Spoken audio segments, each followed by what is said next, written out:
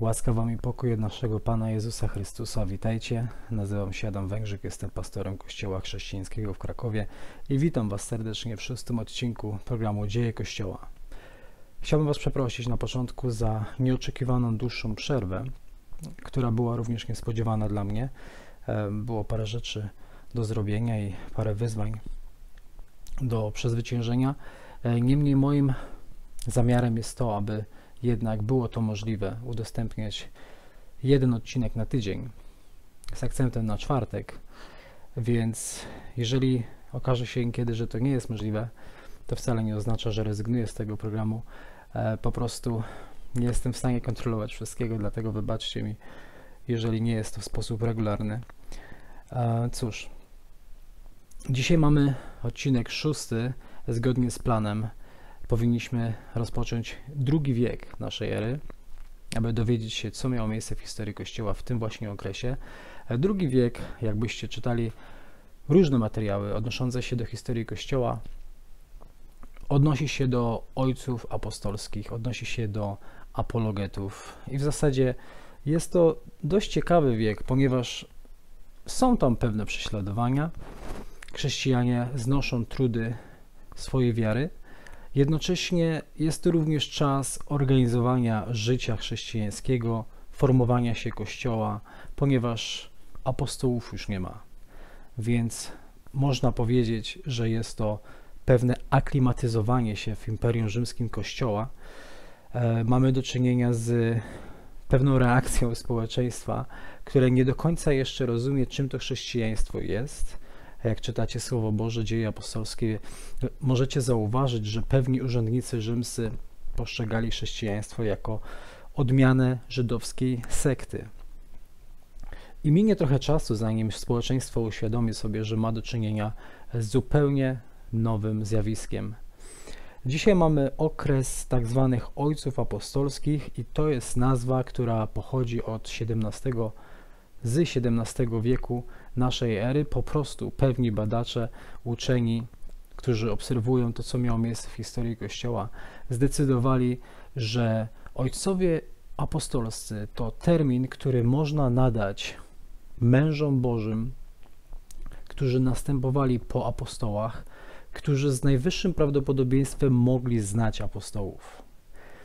E, Wiecie, jak wspomniałem w pierwszym odcinku tego programu, e, nie wszystko jest czarno-białe w historii Kościoła. Nie wszystko i rzadko co można powiedzieć jest zaszufladkowane, posegrego, posegregowane zgodnie z kategoriami jak w teologii systematycznej, także nie ma z tym żadnego problemu. Jak będziemy obserwować to, co miało miejsce na przestrzeni wieków, sami zobaczycie, że te informacje, jakie nieraz mamy, są dość szczątkowe i dość wybiórcze. Dlatego potrzebna jest roztropność, obiektywność i pełna cierpliwość, ponieważ tych materiałów nie ma za wiele. Z drugiej strony nasza ciekawość jest ogromna i chcielibyśmy wiedzieć więcej, co wydarzyło się tutaj, co wydarzyło się z tamtą osobą. Cóż, póki co e, powinniśmy zadowolić się tym, co mamy. Nikt nie wie, e, co może przynieść przyszłość. Może okaże się, że kolejne dokumenty starożytne odnoszące się do ojców Kościoła albo ojców apostolskich będą znalezione gdziekolwiek. Ale odnosząc się do ojców apostolskich, tak jak powiedziałem, to jest termin nadany w XVII wieku i dotyczy w zasadzie pierwszego pokolenia ojców Kościoła. Ojcowie Kościoła to są mężowie Boży, to są pisarze chrześcijańscy, którzy ich era dotyczy wieku, można powiedzieć, od przełomu I-II wieku do V-VI wieku. To jest te kilkaset lat, gdzie mamy do czynienia z ojcami Kościoła, z tym, że pierwsze pokolenie tych ojców Kościoła to są właśnie ojcowie apostolscy. I oczywiście ojcowie apostolscy nie oznacza, że mamy do czynienia z ojcami dosłownie apostołów, jak na przykład Zebedeusz, ojciec Jakuba i Jana apostołów, ale oznacza to jedynie to, że mamy do czynienia, jak wspomniałem, z osobami, co do których założenie jest takie, że albo znali osobiście apostołów, lub też słyszeli, co oni nauczali, albo byli pod ich nauczaniem ustawicznie. Więc gdy mówimy o ojcach apostolskich, mówimy w zasadzie o okresie od 90 do 140 roku. Mamy ich wszystkich e, nie za dużo, jeżeli chodzi o ojców apostolskich. Mamy do czynienia dosłownie z kilkoma osobami i sami zaraz zobaczycie, że gdy studiujemy ten temat, to w zasadzie, jeżeli chodzi o niektórych ojców apostolskich, to dowiadujemy się o nich e, poprzez ojców Kościoła, którzy są w następnych latach, którzy mówią, że taka osoba istniała, taka osoba była ich nauczycielem. Wiele osób, wiele osób myśli, że ojcowie apostolscy, ponieważ znali apostołów, ponieważ byli pod ich nauczaniem, ponieważ byli związani tak blisko z prawdą Ewangelii, tego co się działo w ramach działalności apostołów, wielu z tego powodu myśli, że ojcowie apostolscy byli nieomylni, byli najdokładniejsi w swoim nauczaniu, w zasadzie byli bezbłędni. Tutaj należałoby chyba wrócić do pierwszego odcinka, gdzie zwracałem uwagę na to, e, co będziemy napotykać w trakcie studiowania historii Kościoła, że będą sytuacje, które mogą wydawać się lekko zwodnicze. Pewne przekonania trzeba będzie weryfikować. E, nieraz trzeba będzie odłożyć nasze racje na bok po to, aby zabiegać o prawdę, żeby kontynuować obiektywne studiowanie historii Kościoła, które da mi wiele błogosławieństwa z tego powodu. Chciałbym odnieść się do tego argumentu, ponieważ jest on dość powszechny. Przekonanie o tym, że apostołowie e, przekazali swoje nauczanie pewnym uczniom, co też jest faktem, ale przekonanie, że z uwagi na to, że to nauczanie zostało przekazane pewnym uczniom i z tego powodu ci uczniowie również byli nieumylni, natchnieni, byli w zasadzie rangą samych apostołów, e, to już nie jest słuszne. Dlaczego? Jakie jest założenie tego argumentu? Argument jest taki, że apostołowie e, nauczali pewne osoby co do prawd bożych, co do prawd wiary i mamy taką osobę jak na przykład Klement Rzymski, to jest osoba, co do której istnieje przekonanie dość zasadne, że znajduje się w liście do Filipian, rozdział 4, wers 3, gdzie Paweł mówi o pewnym Klemencie, który wraz z nimi innymi osobami trudził się w sprawach Ewangelii, więc Paweł w tym czasie, kiedy pisze list do Filipian, znajduje się w Rzymie w więzieniu. A więc całkiem możliwe, że mamy do czynienia z Klementem Rzymskim, który żył w I wieku, który zajmował się prowadzeniem kościoła w Rzymie, nie sam, zaraz o tym będziemy mówić, ale na pewno znał apostoła Pawła. Ale ponieważ znał apostoła Pawła i był ojcem apostolskim, nie oznacza to, że Klement był nieomylny, natchniony albo bezbłędny. On miał możliwość poznania tego, co nauczał Paweł, z pewnością. Tak było. Ale nawet to, co czytamy u niego, musimy obserwować z perspektywy Słowa Bożego i badać, weryfikować na podstawie nieomylnego fundamentu, jakim jest Słowo Boże. Wszystkich, których spotkamy w historii Kościoła, musimy, tak jak wspomniałem w pierwszym odcinku, weryfikować na zasadzie Słowa Bożego. Ponieważ jeśli nie ustalimy ostatecznego autorytetu w sprawach wiary, to skąd będziemy wiedzieć, czy to, co powiedział Klement Rzymski albo co powiedział Orygenes, jest słuszne, czy nie? To jest, jak nie mam, jeden z błędów rzymskiego katolicyzmu i prawosławia, którzy bardzo często, niekiedy wręcz zawsze, zależy od osoby, która zajmuje się historią Kościoła, postrzegają to, co mówili ojcowie Kościoła, wręcz zawsze za słuszne, zawsze za nieomylne i zawsze bezdyskusyjne. E, a to nie jest prawda, bo ojcowie Kościoła nie tyle, że popełniali błędy, co sami różnili się między sobą i sami sprzeczali się ze sobą, co pokazuje, że nie byli apostołami i nie byli nieomylni. Tak więc, jeżeli chodzi o ojców apostolskich, powinniśmy również wiedzieć to, że to są osoby, które tak były w bezpośredniej relacji z apostołami, jednakże to wcale nie oznacza, że mieli pełną wiedzę tego, co objawiło Słowo Boże. E, w tym czasie Słowo Boże było spisywane ciągle.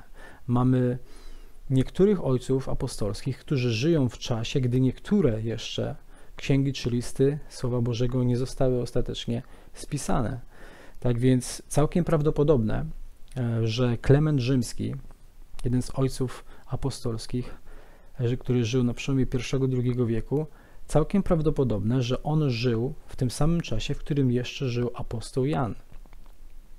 To kiedy pojawia się pytanie o zależność. Jeżeli żyje jeszcze Klement Rzymski, który jest jednym ze starszych kościoła w Rzymie, to skoro apostoł Jan w tym czasie, jak historia kościoła mówi, znajduje się w Efezie i prowadzi tamte zbory, w jaki sposób teraz wygląda ich zależność od siebie? I to jest pytanie w zasadzie do e, katolików, którzy twierdzą, że od samego początku w Rzymie jest prymat apostoła Piotra i jego biskup jest tym, który przejmuje władzę po Piotrze i sprawuje władzę nad całym chrześcijaństwem i kościołem. Czy to oznacza, że apostoł Jan miałby się podporządkować Klementowi Rzymskiemu? To jest coś, w co nie mogę uwierzyć. Ale takie ciekawostki tam są, warto je rozważyć. Ojcowie apostolscy z kilku powodów są godni uznania, e, godni uwagi, ale z kilku powodów e, nie wiedzieli wszystkiego. Po pierwsze, jak powiedziałem, Słowo Boże było ciągle spisywane, a jeżeli zostało spisane, jeżeli chodzi o niektórych z tych ojców apostolskich, to pamiętajcie, że nie każdy miał dostęp do całości Słowa Bożego, ponieważ ono zostało spisane ale wciąż minęło mnóstwo, mnóstwo czasu, zanim to, co cyrkulowało pośród różnych zborów lokalnych, to, co te zbory miały jako spisaną dokumentację od apostołów, zostało ogólnie zebrane w jedną całość.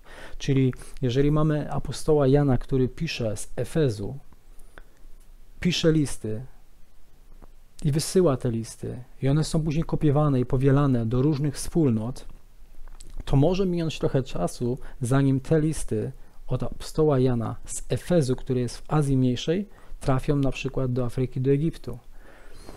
Tak więc y, dzisiaj jest pewnym, że Justyn Męczennik, o którym dzisiaj powiemy, wybitny apologeta II wieku, nie miał pism apostoła Pawła. Mówiłem wam o tym w przeszłości.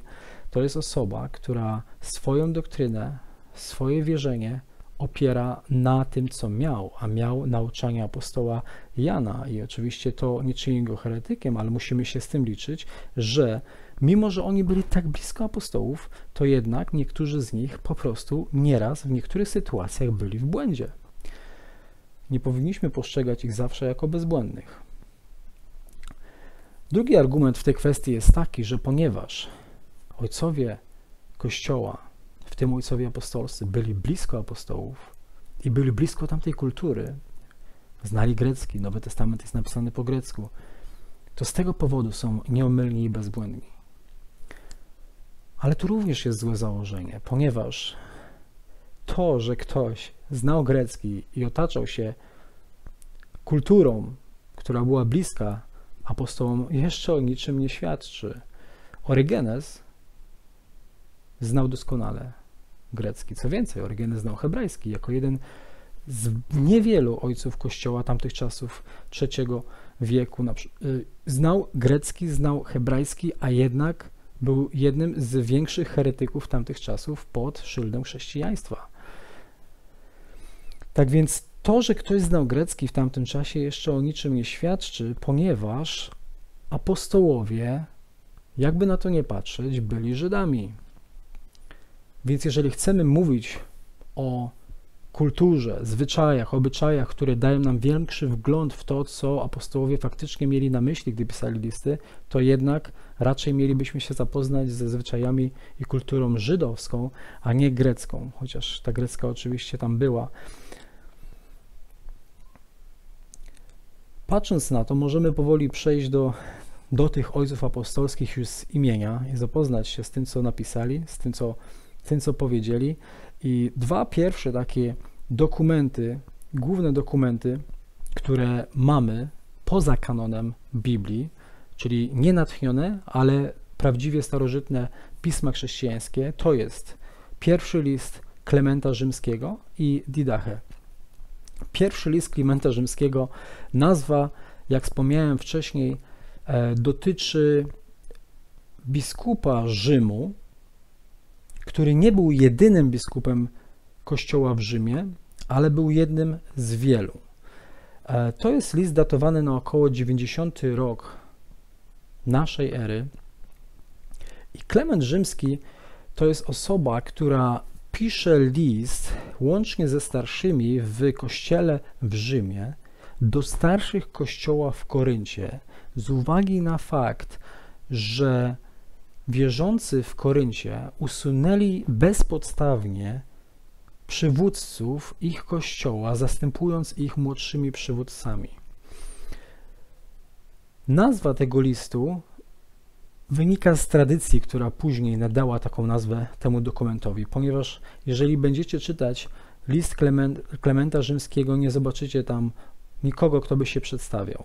W zasadzie ten list jest wyjątkowy pod tym względem, że od samego początku do końca mówi my, starsi w Rzymie, do was, starszych w Koryncie, co też pokazuje nam, że jako praktycznie najstarszy dokument chrześcijański poza kanonem Biblii, w pierwszym wieku naszej ery kształt kościoła lokalnego wyglądał w ten sposób, że przywództwo było pluralne.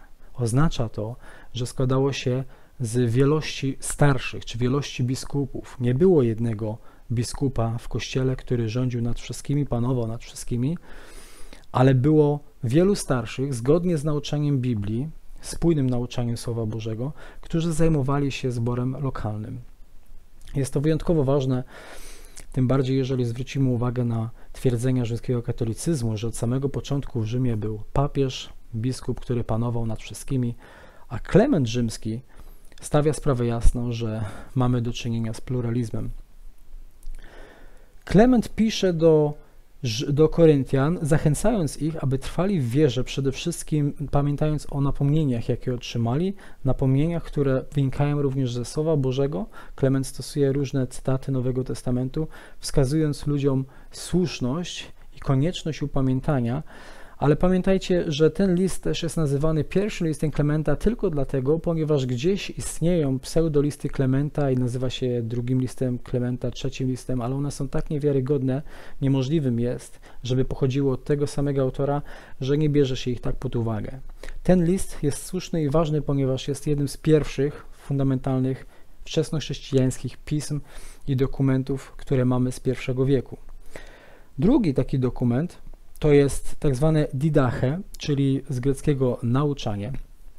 Dzisiaj chrześcijanie powołują się na ten dokument wyjątkowo często, choć on nie jest natchniony, nie znajduje się w Biblii, został odrzucony jako nienatchniony przez Boga, ale oczywiście od samego początku jest wykorzystywany w różnych częściach świata przez chrześcijan ku zbudowaniu, jako pewna instrukcja, ponieważ Didache w zasadzie tym jest. To jest pewien chrześcijański podręcznik składający się z dwóch części, odnoszący się do chrześcijan, którzy wywodzą się z pogan. Ciekawą rzeczą jest to, że Didache w zasadzie ma pełną nazwę, która dotyczy e, nauczania naszego Pana przekazanego do narodów poprzez apostołów.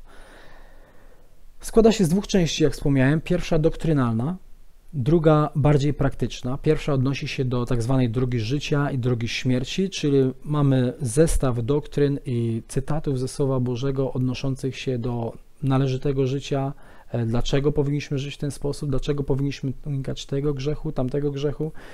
Druga część dotyczy już bardziej kwestii praktycznych i to bardzo szczegółowo opisanych jak chrzest, wieczerza pańska, e, obmywania, jak przeczytacie ten dokument, to zrozumiecie moim zdaniem, dlaczego on nie może być w, w kanonie Słowa Bożego, dlaczego on nie może być natchniony. Są tam rzeczy, które zdają się nie być spójne ze Słowem Bożym.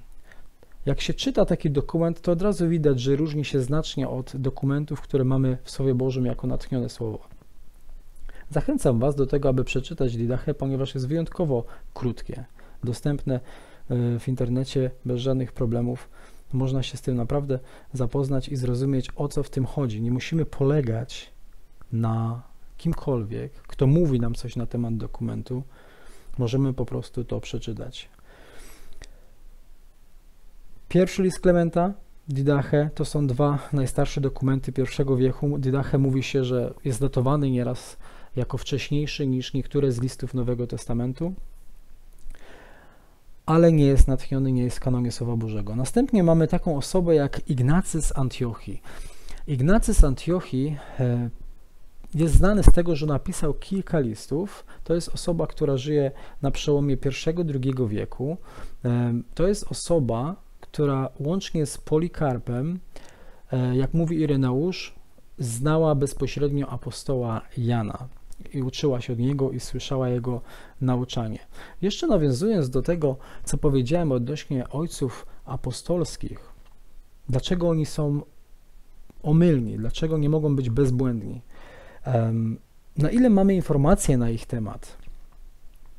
Słusznym jest zauważyć to, że nawet jeśli taki Ignacy, co raczej nie ma co do tego wątpliwości, był pod prowadzeniem apostoła Jana do jakiegoś stopnia, nawet jeżeli Polikarp był bezpośrednim uczniem Jana apostoła, to wcale jeszcze nie oznacza, że jest doskonałym, bezbłędnym nauczycielem. Dlaczego? Ponieważ faktem jest, że niektórzy z ojców apostolskich całkiem możliwe mogli być osobami, które słyszą jedno albo dwa kazania apostoła, mogli spędzić z nim miesiąc, rok, ale nie całe życie.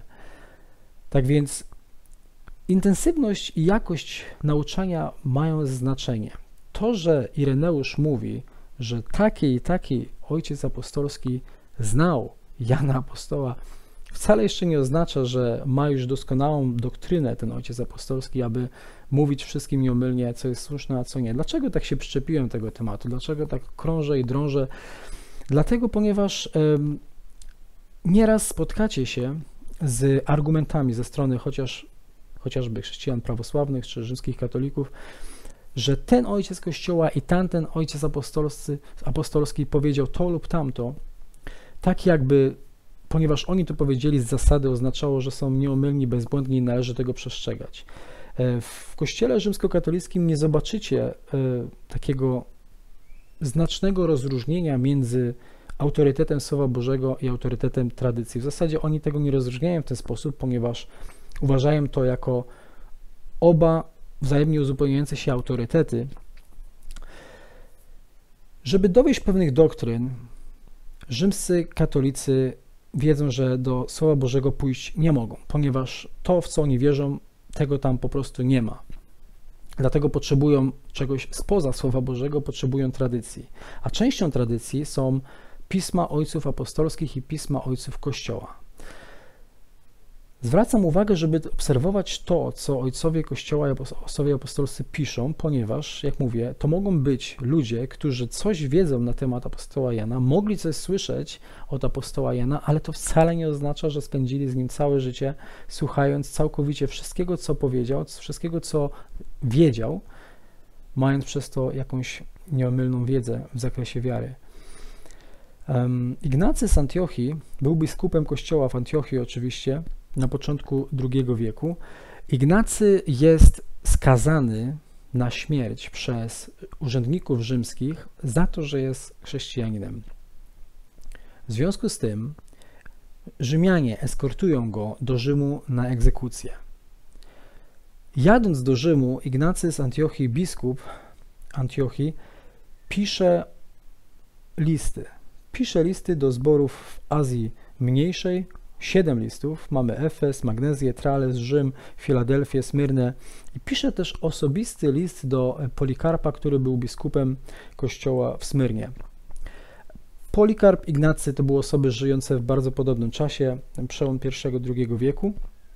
Egzekucja Ignacego miała miejsce w 110 roku naszej ery. Więc Ignacy pisze listy, które są dla nas dzisiaj takim wyjątkowym źródłem informacji co do tego, jak wyglądało postrzeganie kościołów lokalnych chrześcijaństwa na przełomie I-II wieku.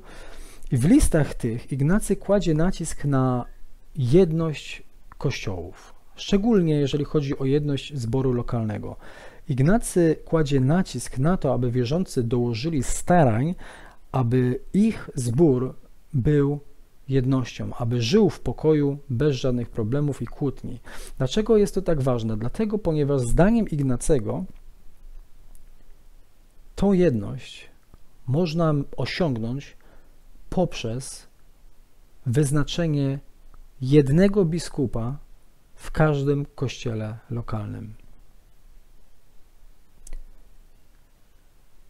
Może niektórzy z Was już dostrzegają, że coś tutaj może być nie halo, bo jak czytaliśmy wcześniej, Klement Rzymski, jeden ze starszych kościoła w Rzymie, Słowo Boże mówi o starszych jako przywódcach zboru, nie wyznacza jednej osoby odpowiedzialnej za wszystko, ale Ignacy faktycznie pisze w sposób, który mówi, zachęca wspólnoty, zbory i kościoły, aby wyznaczyli jedną osobę, która będzie biskupem, który będzie miał pełnię przywództwa w kościele lokalnym. I takie twierdzenie zdaje się wspierać model episkopalny zarządzania kościołem, jaki mamy na przykład w rzymskim katolicyzmie albo w kościele anglikańskim, gdzie istnieje biskup, hierarcha biskupów zależnych od siebie i pewna gradacja ich autorytetu. Ignacy, oprócz tego, że mówi o tym, że powinien istnieć w każdym kościele jeden biskup panujący nad wszystkim, to mówi jednocześnie o tym, aby chrześcijanie dołożyli starań, aby żyć w miłości Chrystusowej, ale także podkreśla znaczenie męczeństwa w życiu chrześcijańskim. Ponieważ Ignacy zostanie zabity i umrze śmiercią męczeńską, z tego powodu podkreśla, jak istotnym to jest, aby rozumieć przesłanie samego męczeństwa. I w tym czasie ludzie jak Polikarp, jak Ignacy, którzy zostali zabici i umarli śmiercią męczeńską, byli uważani za wyjątkowych bohaterów, a ich ciała ich kości były wyjątkowo poważane po ich śmierci i kościoły pieczołowicie przechowywały te szczątki. To nie był jeszcze kult, to nie było jeszcze czczenie e, jakiegokolwiek typu, to było jedynie poważanie tego, co miało miejsce, e, szczególnie tego, tego człowieka, który dla Pana zdecydował się oddać swoje życie w męczarniach. A więc mamy Ignacego, który już widzi nieco inaczej zarządzanie kościołem lokalnym. I tak jak Wam powiedziałem na początku, nie ma się co bać, nie ma się co wstydzić, aby obserwować wszystko, co było w historii Kościoła. Byłbym nie w porządku i byłbym niesprawiedliwy, gdybym tylko wyszukiwał kwestii protestanckich w historii Kościoła. E, musimy powiedzieć, jak się sprawy mają, ale powiem Wam więcej. Dobrze jest, że tak się właśnie sprawy mają, ponieważ to po raz kolejny dowodzi, że istniały różnice między ojcami Kościoła, a to sprawiło, że nie mogli być nieomylni, że musieli być e, osobami, które popełniały błędy. Papiarz jest kolejną osobą, którą mamy na przełomie I-II wieku. On był biskupem Hierapolis. 60 rok do 130 roku, czyli do II wieku. E, papież jest biskupem Hierapolis w prowincji Frygii z tamtego czasu. Ireneusz mówi, że papież słuchał apostoła Jana i znał też Polikarpa. Z papieżem y, sytuacja wygląda w ten sposób, że on, fak, on pisał pewne dzieła i było kilka ksiąg, które zostały przez niego napisanych, ale niestety zaginęły i jedynie co wiemy na temat papieża, to to, co zostało nam przekazane z pism innych ojców Kościoła, ponieważ zachowały się pewne fragmenty, pewne szczątkowe informacje dotyczące papiasza, jednakże one ujęte są w tych innych dziełach i pismach ojców Kościoła, którzy piszą po papiaszu, jak na przykład Ireneusz. Papiaż był osobą, która mm, podjęła się zadania, aby spisać wszystko to, co Jezus powiedział i czynił, czego nie ma jeszcze, nie było w spisanych, natchnionych Ewangeliach, które mamy w Biblii. Niektóre z tych rzeczy są przedziwne. Możecie je przeczytać, bo jest to dostępne na internecie. To są po prostu dziwne, dzikie stwierdzenia i na pewno każdy z Was zobaczy, dlaczego to, co papież mówił, nie zawsze było e, bezbłędne. Um,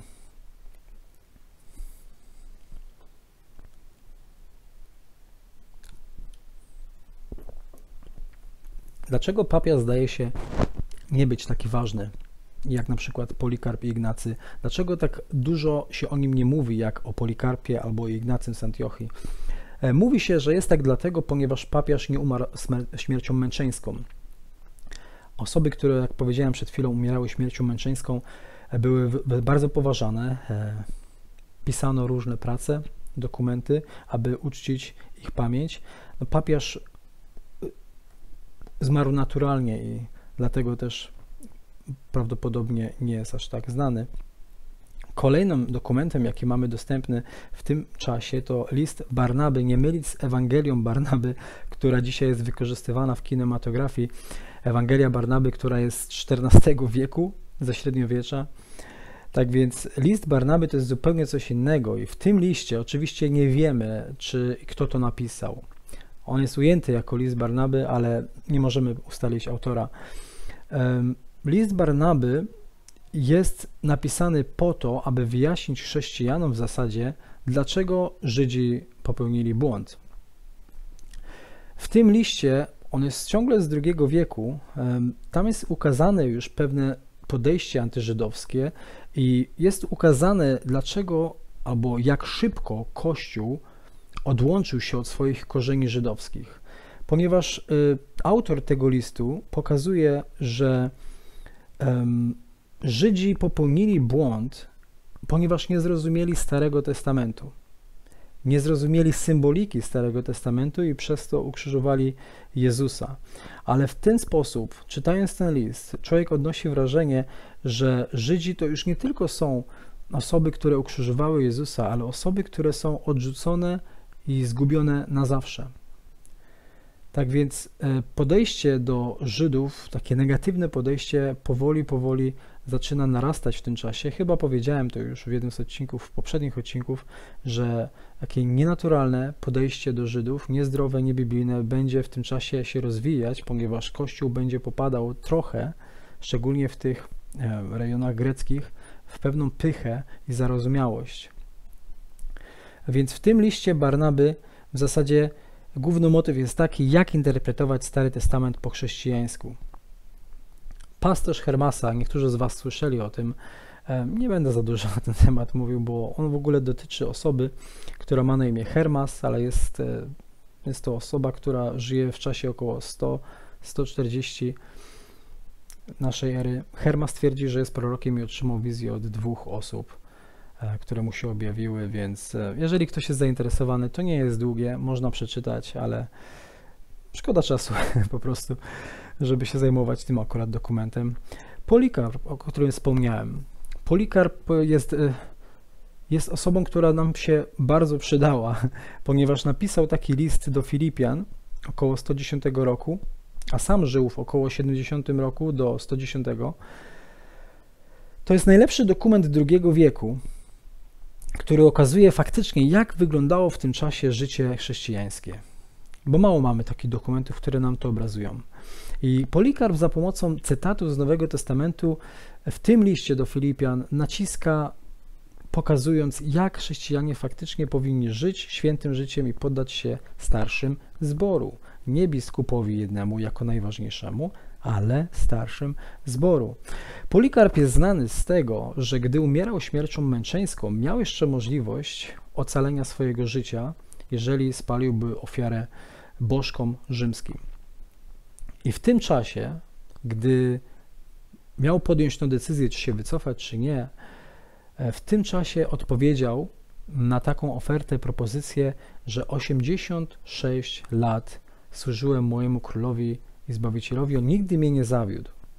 I mówi, jakże miałbym mu teraz zbluźnić i zaprzeć się go, już teraz lekko parafrazuję, ale mówił coś na temat ognia, który miał go teraz spotkać. Mówi, że wystraszycie mnie ogniem, który na chwilę płonie, a potem gaśnie, a jesteście ignorantami ognia wiecznego, który czeka nikczemników. Więc tego jest znany.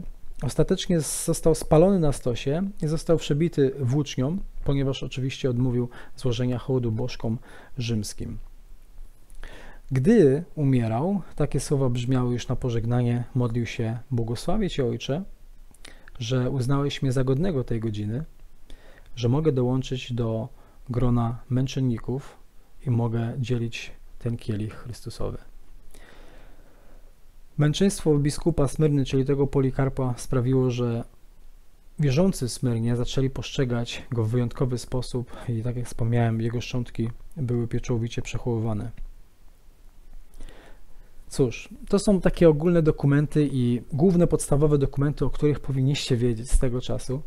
E, po tym, jak skończyła się era apostołów, nastaje właśnie ta era ojców apostolskich. Jest to czas stabilizacji w kościele w różnych regionach Imperium Rzymskiego. Kościół w postaci lokalnych zborów formuje swoje uwielbienie, formuje sposób nauczania, sposób dyscypliny kościelnej. Kościół formuje swoją relację ze społeczeństwem rzymskim i w każdym regionie jest nieco inaczej. Inaczej będzie w Antiochii, inaczej będzie w Aleksandrii. To są dwa różne regiony oparte na zupełnie różnych kulturach.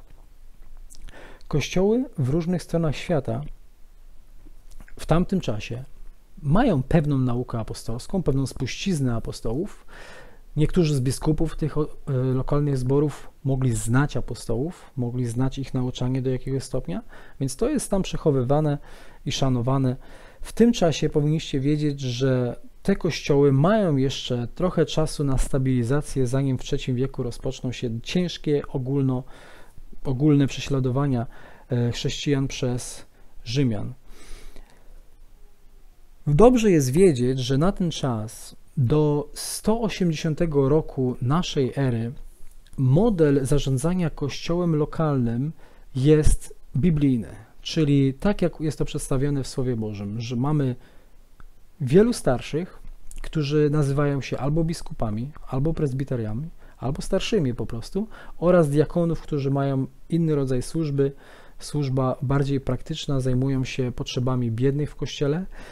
I do 80, 180 roku tak właśnie sprawa wygląda. Po 180 roku zaczyna się zmiana, zaczyna się pewna ewolucja tego modelu zarządzania. Prawdopodobnie e, Ignacy z Antiochii w swoich listach miał znaczny wpływ na tą zmianę, ale mówi się też, że rozwarstwienie tych urzędów, na przykład rozróżnienie biskupa od prezbitera niebiblijne, bezpodstawne może wynikać z założenia tamtych czasów, że Kościół może przybrać formę przywództwa synagogi żydowskiej. Ponieważ Kościół pierwotnie wywodzi się od Żydów, pierwszy Kościół był w Jerozolimie pośród Żydów, więc niektórzy twierdzą, że ten model zarządzania lokalnym zborem był przejęty z synagogi, którą dowodziło, że tak powiem, e, wielu starszych, i spośród tych wielu starszych w synagodze zawsze był jeden starszy senior, który był może pierwszym pośród równych, e, do którego odnoszono się w wyjątkowy sposób. Ale to są tylko założenia, niekoniecznie to musi być prawdą. Ważne, żebyście wiedzieli, że do końca II wieku biskup staje się osobą różną od prezbitera. Biskup staje się najważniejszą osobą w przywództwie kościoła lokalnego. To jest osoba, która e, jest odpowiedzialna za uwielbienie, za oczywiście przeprowadzenie wieczerzy, za dyscyplinę kościelną i ma wokół siebie zespół prezbiterów, którzy nie są na tej samym poziomie co biskup, są nieco niżej i nie tylko jako jego pomocnicy, bo oni również są przywódcami, oni również prowadzą zbór, ale pod autorytetem biskupa. I poniżej prezbiterów mamy diakonów, którzy są odpowiedzialni za inne kwestie różne od nauczania Słowa Bożego. Oni byli odpowiedzialni za pomaganie biednym e, w kościele, za nawet za noszenie wieczerzy do niektórych, którzy, którzy, którzy z różnego powodu nie mogli być na nabożeństwie. Ignacy, o którym mówiliśmy, Ignacy z Antiochii mówił w ten sposób, że biskupa powinniście honorować jak samego Jezusa, a prezbiterów jak apostołów. I to, co on pisze w tym liście, na pewno miało wielki wpływ na formowanie rozumienia tego, kim przywódcy są i dlaczego biskup może być kimś innym, a prezbiter kimś innym. Cóż, my znając Słowo Boże, wiemy, że takiego rozróżnienia uczynić nie można, ponieważ w Biblii sprawa wygląda oczywiście jasno. Apostołowie sami używali słowa biskup, prezbiter naprzemiennie, pokazując, że chodzi o jeden i ten sam urząd. Ale w historii Kościoła, jak powiedziałem, pisali ludzie, którzy nie byli doskonali w zrozumieniu Słowa Bożego, niektórzy z nich nawet nie mieli w pełni Słowa Bożego, dlatego też pisali rzeczy, z którymi zgodzić się nie możemy. No chyba, że ktoś faktycznie uważa, że wszystko, co powiedzieli, zawsze było słuszne, bez względu na wszystko, to sam dojdzie ostatecznie do pewnych absurdów, ponieważ, jak powiedziałem, oni się różnią sami ze sobą. E, macie chociażby e, Ignacego, który pisze, że każdy jeden kościół powinien mieć biskupa ponad innymi. Ale macie również później Cypriana w III wieku, który mówi, że no, biskup Rzymu jest skałą Piotrową, tak jak jest powiedziane w Mateusza 16. Ludzie, którzy nie chcą czytać ze zrozumieniem, zrozumieją to w ten sposób, że mamy tutaj dowód na prymat papieża, biskupa Rzymu ponad innymi. Ale gdy słuchałem do końca tego, co mówi Cyprian i obserwują kontekst wypowiedzi, co dzisiaj jest bardzo zaniedbane, często cytuje się ojców apostolskich, ojców Kościoła wyrwanych z kontekstu i mówi się, widzicie, co powiedział? W ogóle nie postrzegając kontekstu. Jeżeli ktoś zobaczy całość wypowiedzi Cypriana, to zrozumie, że dla Cypriana każdy biskup w każdym kościele lokalnym miał tą samą rangę, był faktycznie tak jakby skałą Piotrową i miał autorytet jedynie w obrębie swojego kościoła i ten autorytet nie mógł być narzucony na inne kościoły, ponieważ Cypian odpowiadał pewnym, pewnym twierdzeniom biskupa Rzymu, który twierdził, że ma jednak wyższość nad innymi biskupami. Cóż, Hieronim pisząc w IV wieku mówi, że biblijny model był taki, że nie ma różnicy między biskupem i prezbiterem. Lecz biskup, jak twierdzi, zyskiwał większe i większe uznanie i każdy zbór miał swojego biskupa i nie miał on autorytetu nad innymi kościołami. Tak twierdzi Hieronim.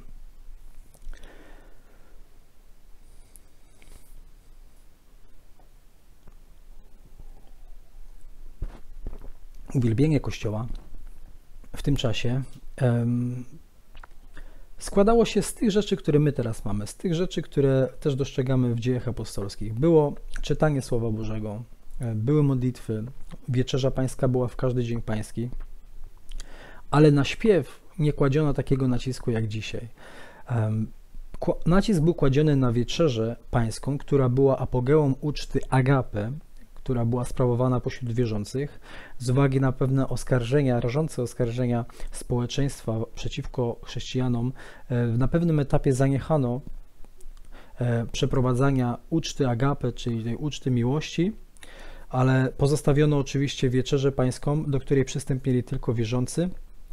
Osoby niewierzące, które zainteresowały się przyjściem do kościoła, mogły być na nabożeństwie tak długo, jak nie było wieczerzy pańskiej, która miała miejsce na końcu, w momencie, kiedy przyszedł czas wieczerzy pańskiej, wyproszono niewierzących, ponieważ im wieczerza się nie należała. Oni mieli przez to zobaczyć, że nie należą do ciała Chrystusowego i istnieje konieczność, aby się pojednali z Bogiem poprzez wiarę w Jezusa, aby móc przystąpić do wieczerzy pańskiej.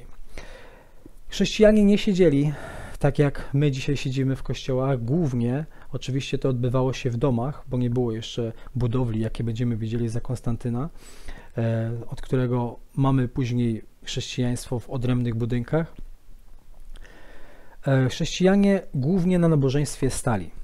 Gdy modlili się, e, przeważnie praktyka była taka, żeby ręce wznosić ku górze.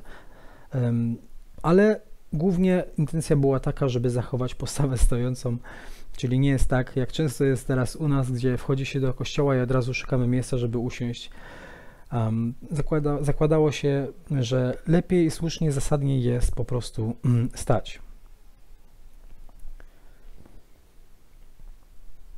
Ciekawa sytuacja następuje w tym czasie. Pamiętajcie, jesteśmy ciągle między pierwszym a drugim wiekiem, w zasadzie lata o między 100 a 200, um, gdy Rzym w końcu uświadomił sobie, że chrześcijanie to nie jest po prostu kolejna sekta żydowska, ale to, to jest zupełnie coś innego. Rzym musiał ustosunkować się do tego. Chrześcijaństwo rozwijało się w wyjątkowy sposób, bardzo szybko. Władze rzymskie musiały podjąć decyzję, jak traktować chrześcijan. Czy to są wrogowie, czy to są przyjaciele.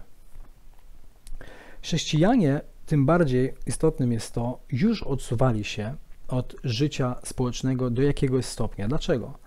Ponieważ wszystko, co działo się w życiu ludzi żyjących w Imperium Rzymskim było powiązane z jakimś bóstwem, z pogaństwem, z czczeniem bożków. Wszystko, czy idziesz do lekarza, czy idziesz gdziekolwiek, jeżeli masz obok siebie pewne miejsce kultu, tam składasz hołd, modlisz się. Oczywiście cesarz jest uważany za bóstwo, więc cesarzowi również należy się chwała według mniemania tamtych ludzi. Cesarz jest osobą, której składano dary, hołd, ofiarę. E, było wiele uroczystości społecznych w tym czasie, e, też na cześć cesarza. Dlatego było nieuniknionym, że ktoś może nie zaobserwować, że jesteś inny. Jeżeli jesteś chrześcijaninem w tamtym czasie, to społeczeństwo to dostrzeże, ponieważ ty nie przystąpisz do oddawania czci cesarzowi albo jakiemukolwiek bóstwu rzymskiemu. E, chrześcijanie to czynili. Oni musieli się wyróżniać, e, dystansowali się od społeczeństwa, aby pokazać im, że my jesteśmy tymi, którzy wierzą w jednego Boga. Bóg jest jeden, a to są fałszywe bożki, z którymi nie chcemy mieć nic wspólnego. A to również oznacza, że nie zawsze chrześcijanie mieli dostęp do lekarza, chyba że ktoś z nich był lekarzem. Lekarz albo ktokolwiek inny w tamtym społeczeństwie, który mógł być potrzebny do realizacji codziennego życia, było to znacznie utrudnione dla chrześcijan, którzy musieli być kontrastowi, musieli pokazać, że są zupełnie inni niż pozostałe religie. Bo zauważcie, że gdy Rzymianie asymilowali kolejne części swojego imperium, zdobywali i podbijali kolejne regiony i terytoria, um, oni pozwalali ludziom kontynuować czczenie ich bóstw, ponieważ założenie, przekonanie było takie w tamtym czasie, że Wy czcicie to samo co my, tylko pod inną nazwą. Dlatego nie ma problemu, żeby Grecy czcili Zeusa, którego odpowiednikiem jest Jupiter e, w Rzymie. Jednak gdy chodzi o chrześcijan, oni nie zgadzali się z, z tym, aby czcić kogokolwiek, jakiegokolwiek bożka. Powiedzieli po prostu nie. Z tego powodu były pewne komplikacje. Namiestnicy prowincji rzymskich nie wiedzieli do końca, co z chrześcijanami zrobić. Oni mieli oczywiście prawo w obrębie swojej prowincji e, ukarać osobę śmiercią, jeżeli uznali to za słuszne, ale nie chcieli działać wbrew cesarzowi, dlatego jeżeli była kwestia nie do końca pewna, musieli skonsultować się z cesarzem, aby dowiedzieć się, jak on postrzega tą sprawę, by mogli odpowiednio realizować pewne zadania. I tak sprawa ma się z Piliniuszem Młodszym, namiestnik prowincji Bitynii. E, on w 112 roku napisał do cesarza Trajana zapytanie, jak powinniśmy traktować chrześcijan w naszym Imperium Rzymskim. Ponieważ to są ludzie, których społeczeństwo oskarża o ciężkie rzeczy, o bałwochwalstwo, o w zasadzie ateizm, ponieważ nie chcą czcić bożków rzymskich, i są oskarżeni o przeróżne praktyki. Wiecie, święty pocałunek, który mamy w Słowie Bożym, to było uznawane za pewne orgie, e, uczty agape, to było uważane później, gdy mamy do czynienia z wieczerzą, za kanibalizm, spożywanie ciała Jezusa i tak dalej. Ciężkie, bezpodstawne oskarżenia wobec chrześcijan, przeciwko chrześcijanom, e, to powodowało, że ludzie nieraz chcieli śmierci chrześcijan. Namiestnik nie do końca wiedział, czy to jest zgodne z wolą cesarza, więc pisze do Trajana Piliniusz młodszy z zapytaniem, jak należy traktować tych ludzi, którzy zostali uznani za chrześcijan. Odpowiedź Trajana jest takim pierwszym oficjalnym dokumentem Rzymu w tym zakresie. Piliniusz pyta, co robi z chrześcijanami, których oskarża się o obrzydliwe praktyki, ale w ich postępowaniu w zasadzie nie ma nic złego, nie popełnili żadnego przestępstwa powstrzymują się jedynie od kultu bożków, wyznają wiarę w Jezusa. Trajan odpowiada na to, mówiąc, żeby nie prowadzić poszukiwań, nie polować na chrześcijan. Nie przyjmować również żadnego anonimowego zgłoszenia przeciwko chrześcijanom. Ale jeżeli ktoś już przyjdzie z jakimś chrześcijaninem, którego oskarża, test jest prosty. Ma oddać cześć bożkom. Jeżeli tego nie zrobi, ma umrzeć. W ten sposób kontynuowane są niejako nieregularne jeszcze prześladowania chrześcijan e, w lokalny sposób. Ponieważ chrześcijanie w II wieku byli nieustannie, nieustannie oskarżani przez obywateli rzymskich o przeróżne absurdy, to prowadziło nieraz do ich śmierci, prześladowań, do męczeństwa, ale w, również w naturalny sposób to prowadziło do powstania pewnej grupy osób, których nazywamy dzisiaj apologetami. Od greckiego słowa apologia, czyli mowa obronna, Apologeci to nie jest tytuł, który oni sami sobie nadali. Apologeci, oczywiście, tak jak z ojcami apostolskimi, to jest tytuł, który później został nadany pisarzom wczesnochrześcijańskich II wieku, którzy podjęli się zadania obrony wiary chrześcijańskiej przed Rzymem, przed urzędnikami rzymskimi, bo tych oskarżeń było mnóstwo, bardzo bezpodstawne. Niektórzy z tych pisarzy chrześcijańskich podjęli się zadania, aby wyjaśnić społeczeństwu, przede wszystkim urzędnikom rzymskim, że wiara chrześcijańska jest nie tylko słuszna, ale i logiczna, i nie tylko logiczna, ale jest wielkim błogosławieństwem dla Rzymu. Ponieważ chrześcijanie to są osoby, które modlą się o cesarza, to są osoby, które płacą podatki, nie popełniają przestępstw, spokojne i tak dalej, i tak dalej. Um, wątpliwe jest, żeby kiedykolwiek jakiś cesarz faktycznie przeczytał taką apologię napisaną przez któregoś z ojców Kościoła, ojców apostolskich. Ale prawdopodobnie te dzieła apologetyczne przyczyniły się do wzmocnienia wiary chrześcijan, którzy czytali te dzieła i do e, umocnienia się w rozumieniu własnej teologii i własnego wyznania, ponieważ apologeci byli Grekami. To są ludzie wychowani w filozofii greckiej, E, to też jest ciekawe, ponieważ oni w ten sposób, pisząc te dzieła apologetyczne, dążą do wyjaśnienia intelektualistom rzymskim tego, kim my właściwie jako chrześcijanie jesteśmy, że jesteśmy osobami godnymi uwagi, e, że są rzeczy, które u nas naprawdę trzeba wziąć pod uwagę. I najsłynniejszym apologetą e, II wieku jest Justyn Męczennik. Justyn Męczennik, sama nazwa wskazuje, wynika E, z tego, że został e, umęczony i został zabity śmiercią męczeńską, zmarł. Jego rodzice byli Grekami, ale żyli w Palestynie. E, Justyn był zamiłowania filozofem, studiował filozofię grecką z akcentem na platonizm, szukał prawdy, tej prawdy ostatecznej w swoim życiu. Po pewnej rozmowie ze starszym mężczyzną, Justyn nawraca się na chrześcijaństwo i zaczyna wykorzystywać swoją filozofię aby pisać do różnych filozofów, intelektualistów rzymskich i do władz rzymskich w sposób nie tylko biblijny, ale sposób logiczny i nieraz filozoficzny. Pamiętajcie, Justyn jest jedną z tych osób, z tych ojców apostolskich, który nie ma całości Nowego Testamentu. Nie ma dostępu do list Pawła. On wie to, co powiedział Jan Apostoł, ale nie ma jeszcze pełnej nauki całego Słowa Bożego. Dlatego my jesteśmy w tak bardzo uprzywilejowanej pozycji, ponieważ mamy już całość i możemy na podstawie całości Słowa obserwować historię Kościoła, osądzać, co było słuszne, a co było niesłuszne. Justyn został skazany na śmierć męczeńską w 165 roku przez władze rzymskie. Ironią tego jest to, że wtedy panował cesarz Marek Aureliusz, który był stoikiem, zamiłowany w filozofii nie chciał podjąć się dyskusji i nie chciał podjąć się jakiejkolwiek konwersacji z Justynem, e, co było też smutne, ale mimo wszystko nie ma się co zniechęcać, ponieważ na pewno ten okres apologetów ojców apostolskich miał istotny wpływ na budowanie kolejnych fundamentów chrześcijaństwa. Jaki to był wpływ, na pewno będziemy w stanie ustalić e, w następnych odcinkach, gdy będziemy obserwować całą sytuację. E, może na koniec tylko, bo to już jest koniec. Drugi wiek, jak wspomniałem na początku, dotyczy głównie ojców apostolskich i apologetów. Chciałbym podkreślić, że naprawdę dobrze będzie, gdy szczerze, uczciwie podejdziemy do historii Kościoła, tak jak powinniśmy.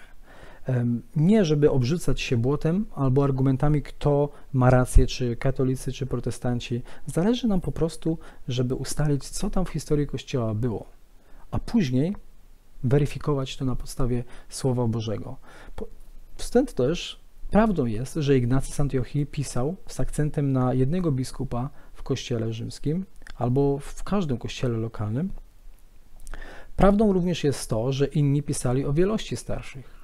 I takie właśnie różnice będą przejawiać się w pierwszych wiekach i dojdziemy niekiedy do przedziwnych rzeczy. Za niedługo będziemy mieli e, Orygenesa, który był jednocześnie wybitnym, wybitnym ojcem Kościoła, ale też i heretykiem w wielu sprawach.